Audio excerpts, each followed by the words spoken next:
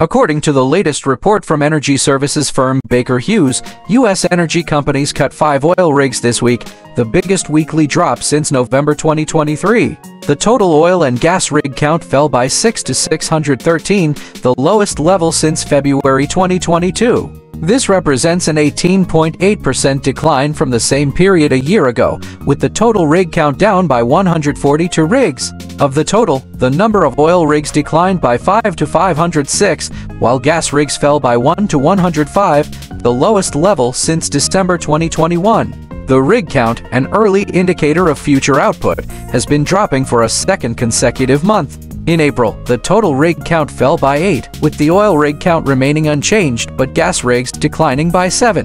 The decline in the rig count reflects the broader trend in the industry, which has seen a 20% drop so far in 2023 after rising by 33% in 2022 and 67% in 2021. This is largely due to a decline in oil and gas prices, as well as higher labor and equipment costs driven by soaring inflation. Companies have also been focused on paying down debt and boosting shareholder returns rather than increasing production.